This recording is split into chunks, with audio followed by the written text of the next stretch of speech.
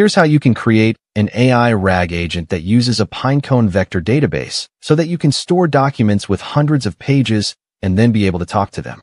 We have downloaded three books, 48 Laws of Power, 476 pages, Principle by Ray Dalio, for 195 pages, and Meditations by Marcus Aurelius, 307 pages, and added these books to our Pinecone vector database.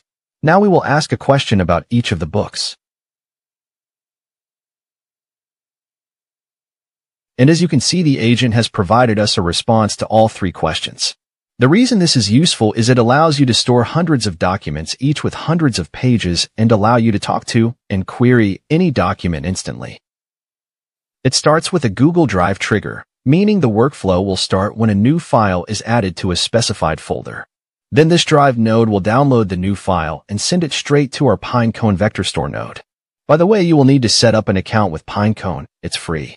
Now from here we will need a data loader which will load our entire document allowing the character splitter to convert the document into smaller, more manageable pieces called chunks.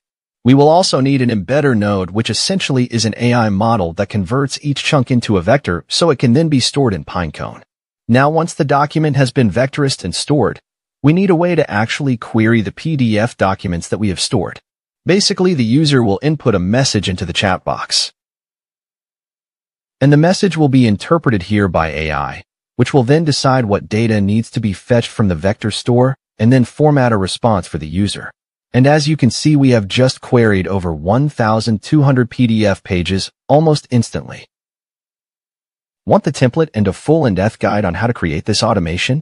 Comment RAG and we'll send it to you.